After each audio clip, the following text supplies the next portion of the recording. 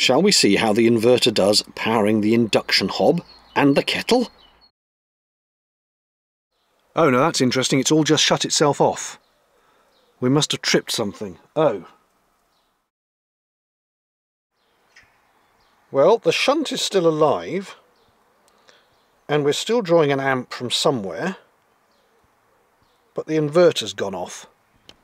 Interestingly, and perhaps oddly, the inverter is not actually showing any error. That's the error light, and it's not flashing. So I don't know what's going on here. The inverter is stone cold, so it hasn't overheated. The wires are stone cold. There's no problem with them and temperature.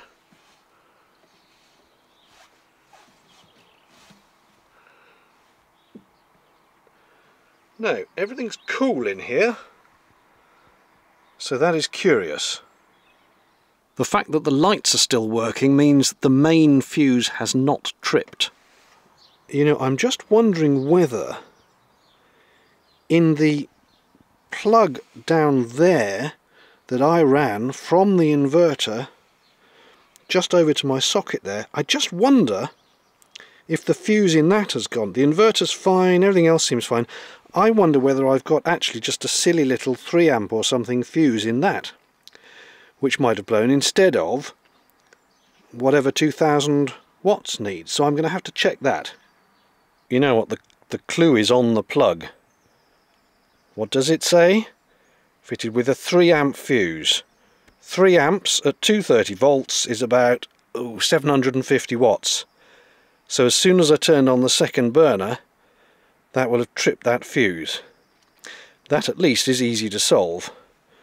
A Couple of whether I've got a spare what had I better put in there? Something like a 10 amp fuse or something. Right, have I got one? That's the question. In an odd way, I'm quite pleased about that, because everything was working absolutely fine, and then the fuse in the plug did what it's supposed to do when I drew too much power. Admittedly, I wasn't expecting it, and I'd forgotten to check that fuse, but it worked, and the inverter seemed quite happy. So, that's actually all good, I think. Just need to find another fuse now. 2000 watts of maximum inverter power at 230 volts, or call it 220 to be on the safe side, is a shade under 10 amps. So I have retrieved from another appliance in my house a standard British 13 amp fuse, which is the stock mains fuse you'll find, which just gives a little bit of headroom above the 10 amps that might be drawn by the inverter at, inverter at full chat. So I'll swap that in and we'll start up again. I can confirm the old fuse is indeed 3 amps and that will undoubtedly have gone. And here is my 13 amp in the plug to the inverter. And so, in the words of Whitesnake, here I go again on my own.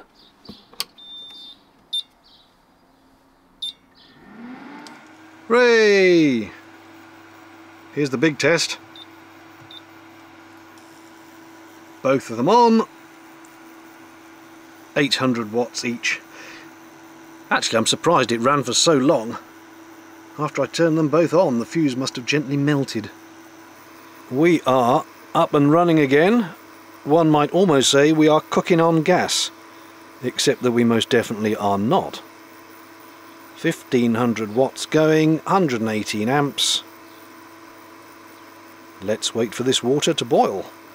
Bear in mind that given my culinary limitations, it's extremely unlikely that I'd ever have both burners on at all. It's more likely I'd have the kettle on for a few minutes making a cup of tea, and then one burner on the induction hob just heating up some soup or some beans or something like that. So this is actually quite an extreme test for my kind of cooking in the van.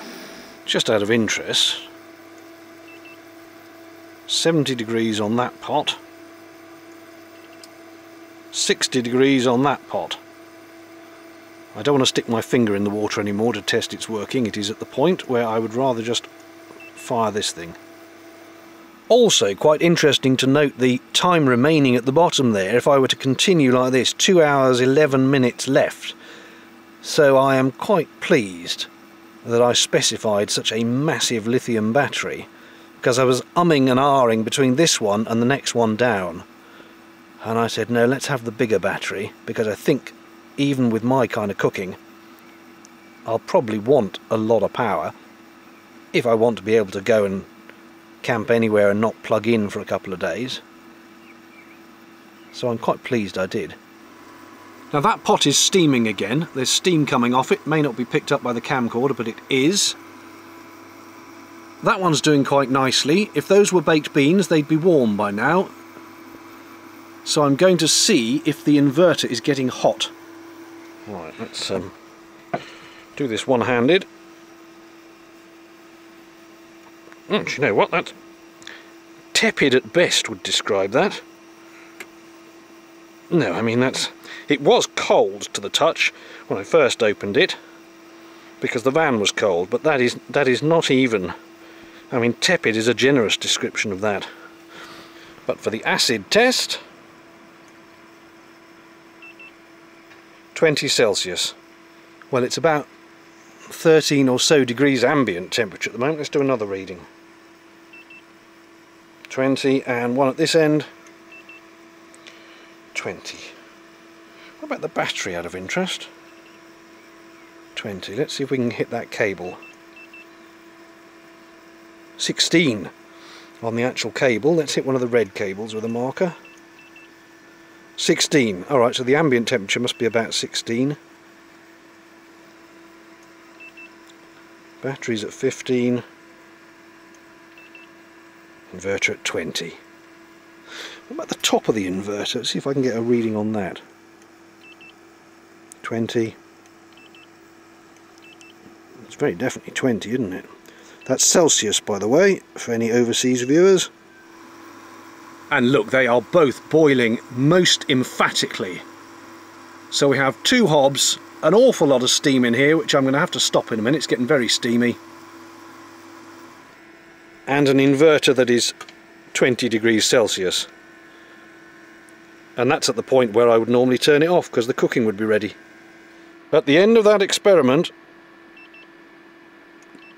we reached the giddy heights of 21. Oh no, look, 22 at that end. There we go. Just double check it, yep. Okay, 22 degrees. I mean, you can just just detect it with your fingers that that is not stone cold anymore. Well, I'm very pleased with that, not only it working, but also how cool it's staying. And I did only take the top off um, the area where the inverter is right at the last minute to check its temperature. So I think that is valid and accurate. Obviously on a warmer day it would get a bit warmer.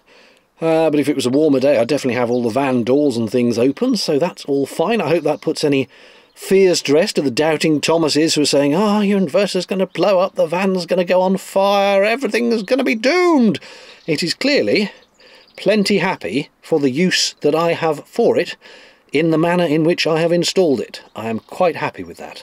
And a quick glance back at the stats, consumed 22 amp hours, of which a negligible amount would have been the draw of the inverter, me turning on the lights, that little alarm that comes on every time you power everything up. Basically, about 22 amp hours there in that cooking.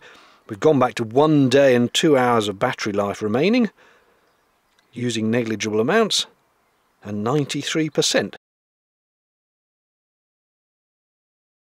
You will note I'm doing this quite crudely with a double socket adapter because I haven't yet run a cable from the inverter all the way around to the actual worktop with sockets on it. That is my kettle.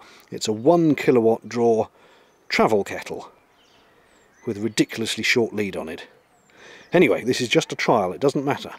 And I've put fresh cold water into that just to stop it getting so steamy in here. Let us turn that on to start with. 800 watts there. And let's turn on the kettle.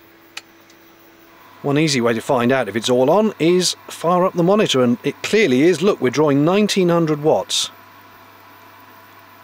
23.3 amp hours gone, 152 amps being drawn. And I'll just wait till the kettle boils and we'll see how hot and sticky everything is. I don't know if you can tell over the whir of the fan of the induction hob, but the kettle is now making a boiling water sort of noise or a warming water sort of noise and of course when it hits boiling it should switch itself off. Here we go.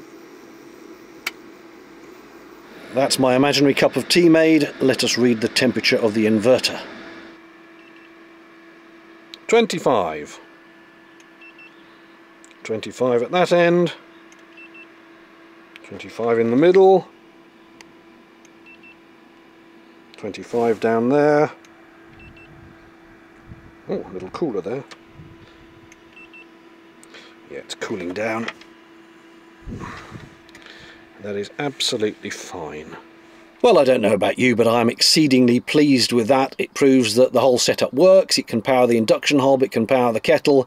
It's not going to get too hot for the limited amount of use I will give it. I mean, frankly, if it's only going to get to 25 degrees doing that amount of cooking, um, even if I tried to cook a proper meal on it, I don't think it's going to get too hot. It seemed fine. I will keep an eye on it, obviously. All that remains for me to do is replace the power to the shunt with the new temperature sensor when that turns up tomorrow. And also, I haven't, uh, confession time, I haven't ever had a fuse in the wire from the solar charger to the battery, which I should have had and never, never have. So I'm going to put one of those in as well tomorrow. But that is pretty much it for the rewire of the electrics. Now, about some other little jobs I've got to do around the van.